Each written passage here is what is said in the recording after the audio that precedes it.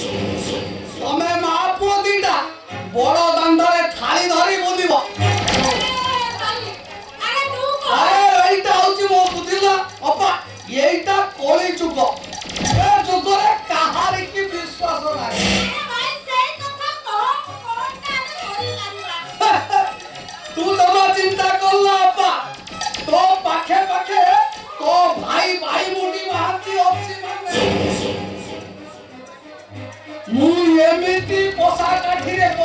কাঠি গড়াই দিয়েছে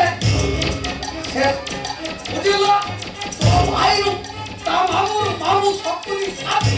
পশা পালিয়ে এমনি পশা কাঠি গড়াই দিয়েছে শেষরে তো পুয় হব হস্তিনার রাজা আউ সেইটা পাইব অজ্ঞাত বনবাস